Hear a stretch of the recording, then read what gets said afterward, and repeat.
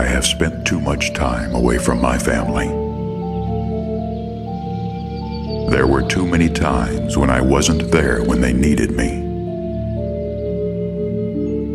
My memories are now fading into nothingness. I thought this school would give me a new beginning, away from the past.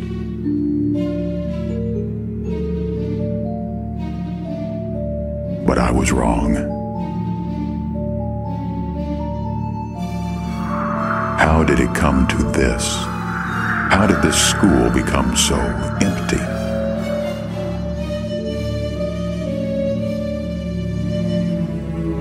No one can bring back the past, of course.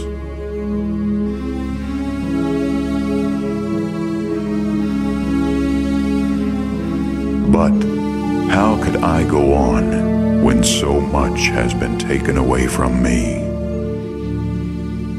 How could I stand here without trying anything if the answers I seek might hide behind these walls? Or am I searching in the wrong place?